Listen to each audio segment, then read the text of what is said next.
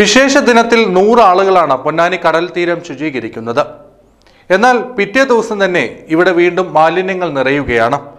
ശുചീകരണ പ്രവർത്തനങ്ങൾക്ക് തുടർച്ചയില്ലാത്തത് പൊന്നാനി കടൽ തീരം മാലിന്യ കൂമ്പാരത്തിന്റെ കേന്ദ്രമായി മാറുകയാണ്. സഞ്ചാരികൾ പതിവായി എത്തുന്ന പൊന്നാനി ബീച്ചിന്റെ സ്ഥിതിയാണിത്. പഴയ ചെങ്കാ റോഡിന്റെ വശത്താണ് പ്ലാസ്റ്റിക് മാലിന്യങ്ങളും മാംസാവശിഷ്ടങ്ങളും കൊണ്ട് വൃത്തികേടായി മാറിയിരിക്കുന്നത്. വൻ പരിസ്ഥിതി പ്രശ്നങ്ങൾ ഉണ്ടാകും വിധമാണ് ഇവിടത്തെ മാലിന്യ നിക്ഷേപം ദിനവും വന്നുപോകുന്ന സഞ്ചാരികൾ വലിച്ചെറിയുന്ന പ്ലാസ്റ്റിക് ഉൾപ്പെടെയുള്ള മാലിന്യങ്ങൾ കാരണം വൻ ആരോഗ്യ പ്രശ്നങ്ങളാണ് ഉണ്ടാകുന്നത്.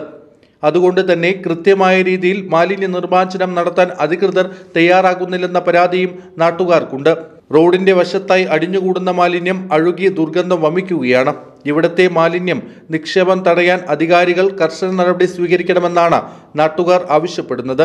മൂക്കുപൊത്തി നടക്കേണ്ട അവസ്ഥയാണ് പല ദിവസങ്ങളിലും എല്ലാ ഒട്ടുമിക്ക എല്ലാ ദിവസങ്ങളിലും ഇത്തരം സ്ഥലങ്ങളിലുള്ളത്.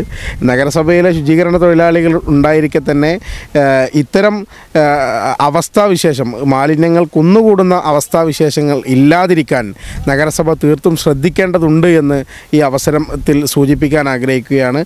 Prabha gold and diamonds Veliyankode. Phone zero four nine four two six double seven double seven zero